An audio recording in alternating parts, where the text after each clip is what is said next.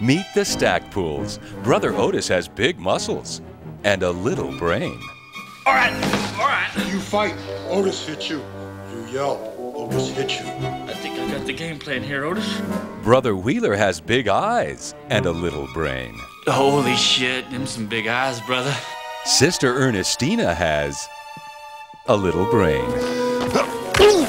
And then there's Myron, the head of the family. We Stackpools all have our uh, peculiarities.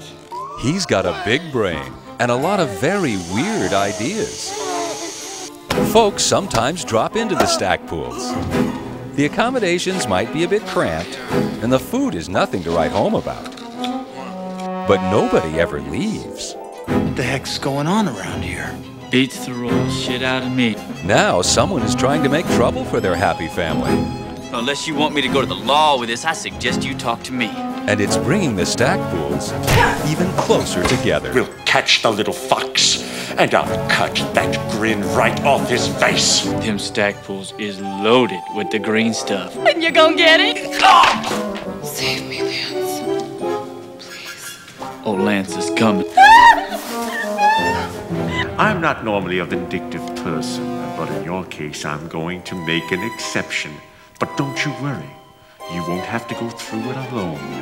Oh my god. Don't you worry, Sugar Bear. Everything's gonna be just fine. Ah, I've always been attracted to really intelligent men. And you think you can fill my lonely hours I, I just want to be close to you, honey. with my ongoing plans for world domination at all to, to, to take time out for, for romance? I'm afraid it'll just have to be death by torture as planned. You're my dreamboat.